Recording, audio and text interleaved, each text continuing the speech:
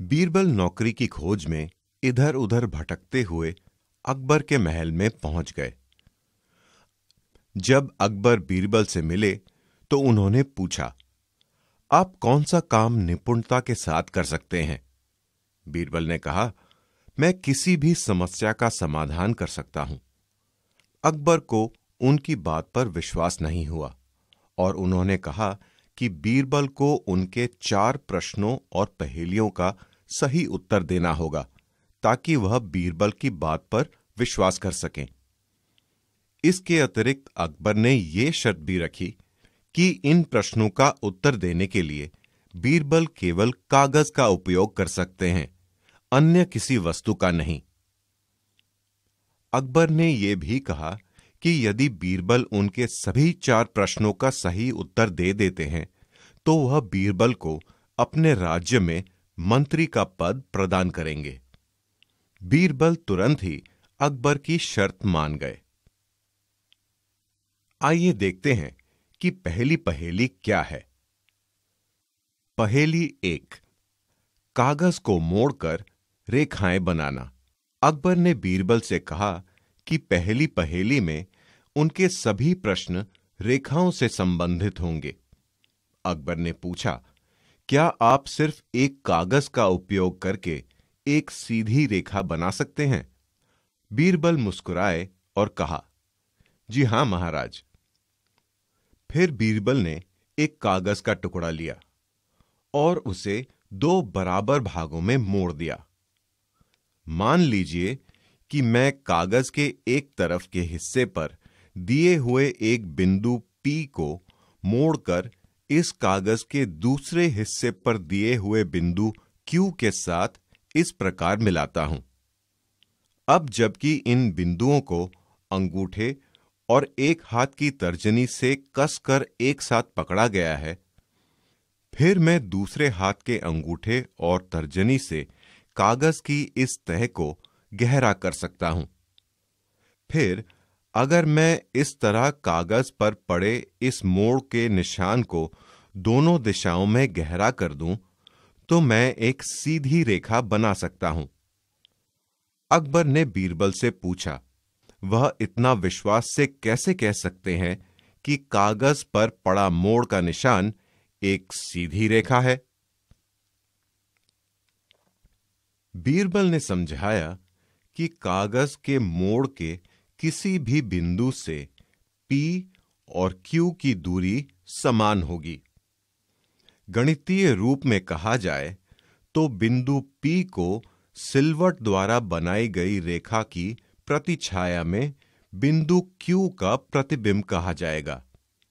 इसके विपरीत उसी प्रतिछाया में P, Q का प्रतिबिंब है और इसलिए बनाई हुई रेखा निश्चित रूप से एक सीधी रेखा है।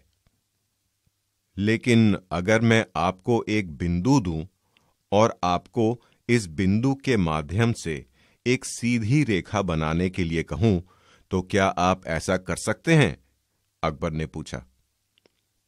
यह भी आसान है, महाराज। कल्पना कीजिए कि यह एक बिंदु है। अब अगर मैं सावधानी से कागज़ को यहाँ से थोड़ा सा मोड़कर एक छोटी सी लकीर बनाता हूँ, जो उस दिए गए बिंदु से गुजरती है और दोनों दिशाओं में इस तरह कागज़ को मोड़कर बनी लकीर का विस्तार करती है तो हमें दिए गए बिंदु के माध्यम से एक सीधी रेखा मिल जाएगी, बीरबल ने समझाया। अकबर ने पूछा, किसी दी गई सीधी रेखा पर लंबवत रेखा को कैसे समझाएँगे आप? बीरबल सबसे पहले कागज़ के किनारे समांतर एक रेखा ए बी बनाते हैं, जैसा कि चित्र में दिखाया गया है। अब बीरबल कागज़ को इस प्रकार मोड़ते हैं कि दी गई रेखा ए बी का एक हिस्सा अपने स्वयं के ऊपर मुड़ जाए। एक हाथ के अंगूठे और तर्जनी से रेखाओं को एक साथ पकड़कर वह उसी विधि को दोहराते हुए, जिससे उन्होंने पहले एक सीधी रेखा बनाई थी, कागज़ को मोड़कर एक रेखा बनाते हैं। उन्होंने इस रेखा को सी डी कहा और कहा कि यह C D Rekha A B रेखा पर लंबवत है। कागज़ को मोड़कर बनाई हुई सिलवट सीडी के प्रतिबिंब द्वारा रेखा ए बी स्वयं को प्रतिबिंबित करती है। और चूँकि इस विशेष स्थिति में दी हुई रेखा A B Rekha C D को 90 डिग्री के कोण पर काटती है तो हम कह सकते हैं कि रेखा C D Rekha A B पर लंबवत है। अकबर प्रभावित हुए, लेकिन बीरबल को अभी और परखना चाहते थे। अतः उन्होंने पूछा, आप दी गई किसी रेखा के एक बिंदु पर लंबवत रेखा कैसे बनाएँगे? बीरबल अब तक जिस कागज़ का उपयोग कर रहे थे, उसी कागज़ को मोड़ते हैं ताकि दी गई रेखा ए बी का एक हिस्सा स्वयं के ऊपर से मुड़े। और यह सुनिश्चित हो सके कि कागज़ को मोड़कर बनाई गई सिलवट दिए गए बिंदु पी से होकर गुजरे, जिससे रेखा पर दिए गए बिंदु पर एक लंबवत रेखा बन जाए। अकबर ने बीरबल से पूछा, आप कैसे कह सकते हैं कि पी से होकर गुजरने वाला मोड़ ए बी पर लंबवत है? बीरबल ने समझाया कि कागज़ को मोड़कर बनाई गई सिलवट के द्वारा रेखा ए बी स्वयं को बनाई गई रेखा के प्रतिबिंब में प्रतिबिंबित करती है। इस प्रतिबिंब में बिंदु पी अपना स्वयं का प्रतिबिंब है। चूँकि बिंदु पी प्रतिबिंब में अपना स्वयं का प्रतिरूप है, अतः हम कह सकते हैं कि रेखा द्वारा एक सीधा कोण बनाया जा रहा है। अतः P से होकर जाने वाला मोड़ ए बी पर लंबवत है।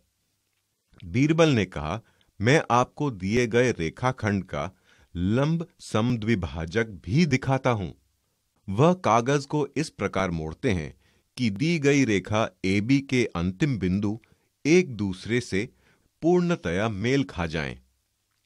फिर उन्होंने सावधानी से कागज़ को मोड़कर एक सिलवट बनाई और कहा, यदि आप रेखा सीडी पर कोई बिंदु पाते हैं तो यह ए और बी से समान दूरी पर होगा। और इसलिए हम कह सकते हैं कि रेखा C D Rekha A B का लंब समद्विभाजक है। लंबवत रेखाएँ सरल लगती हैं। आप किसी दी गई सीधी रेखा के समांतर एक रेखा कैसे बनाएँगे? अकबर ने पूछा। बीरबल ने कहा, मैं आपको दिखाता हूँ। वह दी गई रेखा ए बी से पहले की तरह एक रेखा ई एफ़ बनाते हैं और फिर ई एफ़ के लंबवत रेखा सी डी को मोड़ते हैं। चूँकि रेखा A B Rekha E F के लंबवत है और रेखा सी डी भी रेखा ई एफ़ के लंबवत है हम कह सकते हैं कि रेखा ए बी और रेखा सी डी एक दूसरे के समांतर हैं, बीरबल ने समझाया।